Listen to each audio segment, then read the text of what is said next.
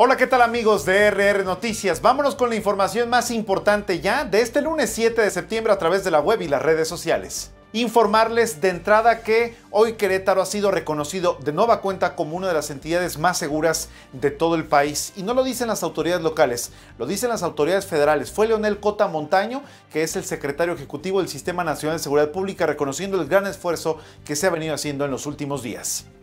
Y en más de la información, finalmente fueron localizados los cuatro turistas que fueron encontrados allá en la zona de Puerta de Piedra en Pinal de Amoles. Se habían extraviado y tuvieron que ser buscados con drones por cuerpos de emergencia y bomberos. Finalmente están sanos y salvos después de que los encontraron. Y en noticias nacionales, hoy 7 de septiembre finalmente está arrancando el proceso electoral en este país que se va a celebrar en junio del año entrante 2021. Hoy Lorenzo Córdoba Vianelo, que es el consejero presidente del Nacional Electoral, llamó a respetar las elecciones y por supuesto también la imparcialidad y la autonomía que tiene el Instituto Nacional Electoral.